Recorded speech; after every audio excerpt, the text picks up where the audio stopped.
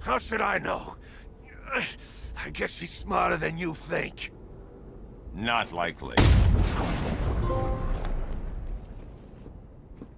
Let's check the Bat computer. Good idea.